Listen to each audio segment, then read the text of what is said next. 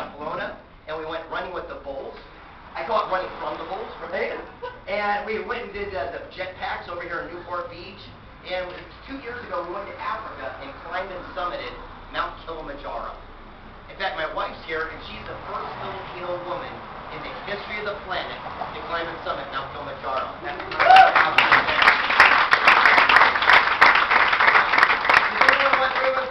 there you go. And then this is my latest uh, best-selling book. It's called Everything is Subject to Change. There you go. I don't have a big story behind that one. People always ask, they go, why do you give out so much books?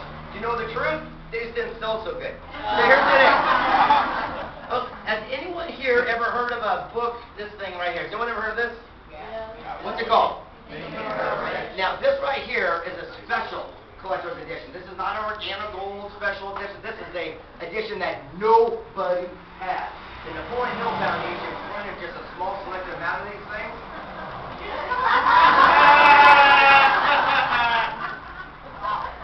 Nope. Look after it. There you go. We'll reward the actor. Here's a little story behind the story.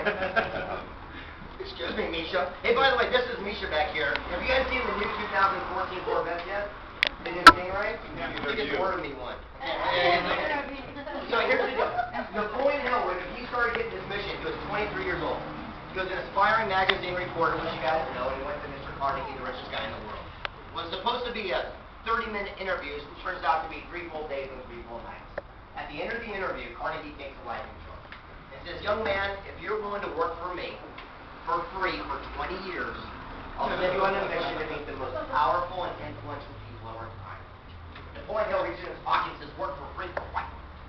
And realized he has nothing to lose but everything to gain. Says, Mr. Carnegie, not only will I accept your mission, I promise you I'll complete it.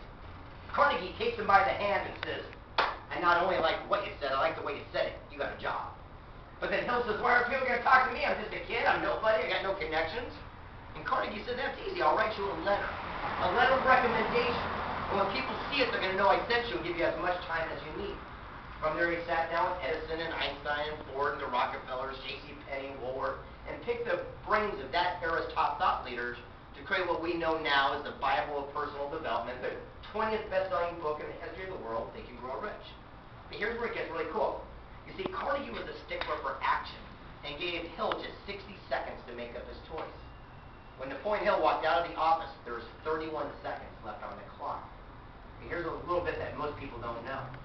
Carnegie made that same offer to over 250 men before. He was just the only person to say what? He saw the opportunity where most people would always see the obstacle. They see everything they're losing rather than what they're gaining.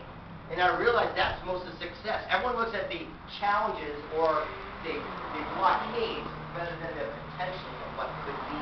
And the greatest leaders, the people that have paved their way, created the greatest empires, all they saw is the vision. And they never let another person stop them in their way.